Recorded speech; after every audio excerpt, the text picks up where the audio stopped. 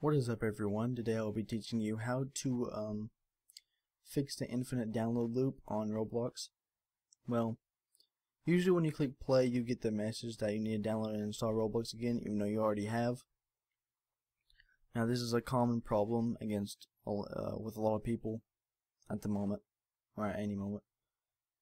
And so what you want to do first is make sure you uninstall Roblox. So if you if you don't know how to do that, you want to go to your control panel, click uninstall program, which is right here uh, under programs. Uninstall program, and it should show like it should like show like this. After that, you want to click, you want to type in Roblox in the search bar, and you should get these two options. You can't see my mouse, but you'll you you understand. So you want to uninstall the red one, one with the red icon, the Roblox player for Cyrus.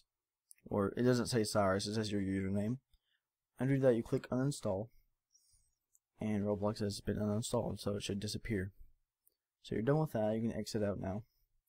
And after that you want to go to your settings on uh, you want to go to your settings on Google. And if you don't know how to do that, go to these three little dots right here. Go down to settings and it should bring you here and you want to scroll down into the show advanced settings and scroll more uh, all the way down until you get to the downloads folder the download location.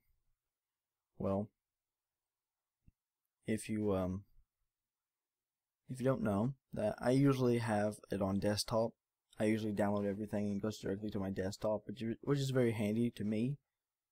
But for this very moment I have to go to my downloads folder which is just a folder you have to look look for it, but it's a folder with that like has a little downloads icon on it. You see it? It's a little blue dot, little blue uh, arrow. Well, make sure to select that. You shouldn't say downloads. After that, you want to go ahead and exit out. Unless if you want to change it, like after you're done downloading Roblox, you can change it back like I, like I usually do. So you can uh, keep this up if you want to, whatever. And now you install Roblox again. And this should uh, actually fix it. So you download Roblox, simple as ever, right? Same thing, click run, blah blah blah. And uh, to prove it, I'll get back to you guys once it's done installing. So it's almost finished now.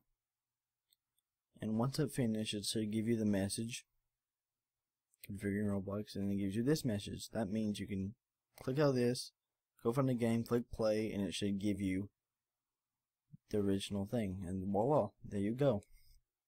That's how you get Roblox working, and that's how you get out of the infinite loop zone for Chrome users. So hopefully uh, uh, you guys found this helpful. Um, this only works for me, as far as I know. Hopefully it works for you guys. If it doesn't, let me know in the comments and I'll try to help out, help you guys out with it. Thanks for watching.